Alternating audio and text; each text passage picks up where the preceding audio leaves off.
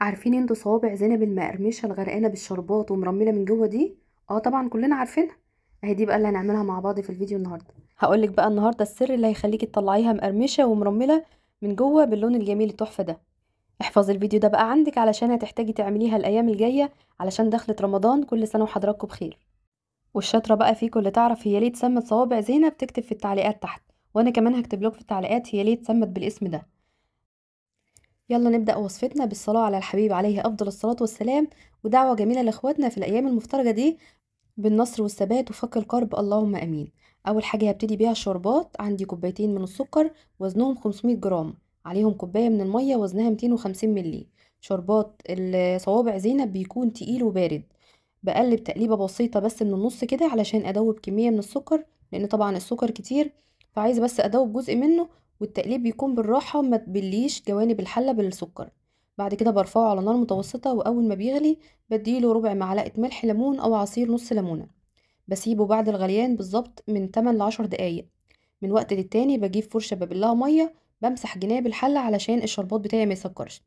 بعد ما الشربات يوصل المرحلة دي بعد ما عدى عليه تقريبا 8 أو 9 دقايق بفضيه في أي بولة وبسيبه لحد ما يبرد خالص طبعا برا التلاجة.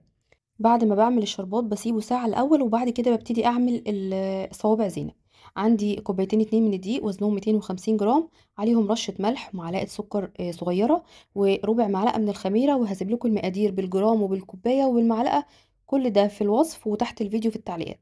ضفت كمان نص كوباية من دقيق السميد اللي هو بتاع البسبوسة وقلبت. بعد كده هضيف تلت كوباية من السمنة البلدي أو السمنة على الزيت أو الزيت بس زي ما تحبي.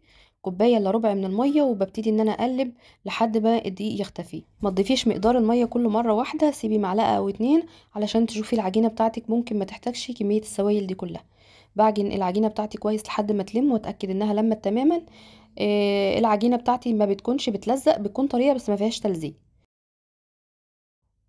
طرية بس ما فيهاش تلزيق. بغطيها بكيس بلاستيك وأسيبها بس خمس دقايق ترتاح مش أكتر من كده. ما بنخمرش العجينة علشان النقشة بتاعتها ما تروحش وما تكبرش في الزيت. أنا بريحها بس خمس دقايق علشان أعرف أشكلها وتبقى سهلة معايا في التشكيل.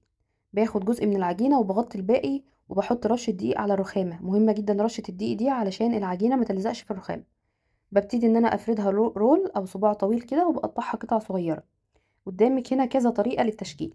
أول طريقة إن أنا هاخد قطعة قطعة وأعملها زي صوابع الكفتة كده كأني بعمل كفتة رز بالظبط. نفس الحجم. بسويها بالشكل ده أو إن أنا أسيبها متقطعة بنفس التقطيعة دي زي ما هي. بجيب هنا أول حاجة بصمة الكحك ببتدي إن أنا أفردها بالشكل اللي أنتوا شايفينه ده من الأطراف بضغط عليها على البصامه وأبتدي ألم أو إن أنا أفردها على اللي هي بتاعة التحمير بتاعة البطاطس المصفى دي وبفردها بالشكل ده. يا إما تسيبيها صوابع زي وتلفيها يا إما بنفس التقطيعة وتعمليها بالشكل اللي أنت شايفاه ده. لو لقيتيها بتلزق منك رشة دقيق بسيطة على البصامه من فوق أو على المصفى.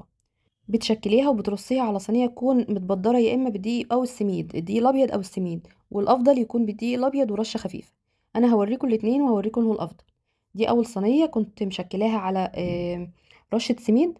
ببتدي إن أنا أنزل بيها في طاسة فيها زيت يكون سخن بس مش قوي بدرجة حرارته متوسطة والزيت يكون غزير. بنزل بصوابع زينب والحرارة بتاعتي بتكون متوسطة مش عالية علشان ما تتحمرش وتاخد لون وهي لسه طرية من جوه.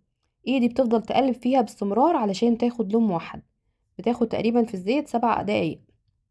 أول دقيقتين تلاتة كده أول ما بنزلها في الزيت بنزلها والحرارة متوسطة وفي النص بهدي الحرارة شوية علشان تستوي كويس من جوه. بصوا بقى أنا ما بحبش إن أنا أشكلها على السميد علشان بينزل في الطاسة وبتحرق من تحت وفي نفس الوقت هتلاقي الدور اللي أنت حاطة فيه سميد بتلاقيه مخرز على الصوابع زينب لكن لما بتكون على رشه دقيق بسيطة خالص ما بنزلش دقيق في الزيت وفي نفس الوقت بيكون الصوابع زينب ناعمة وحلوة قوي.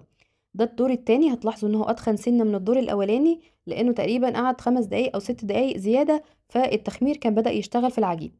فلما تكوني هتعملي كمية بتحطيها في التلاجة أول بأول ما بتسيبهاش تختمر طول ما صوابع زينب في الطاسة بفضل أقلب فيها باستمرار علشان تاخد لون ذهبي موحد. وأول ما بطلعها من الزيت على طول بنزل بيها في الشربات والشربات بيكون تقيل وبارد.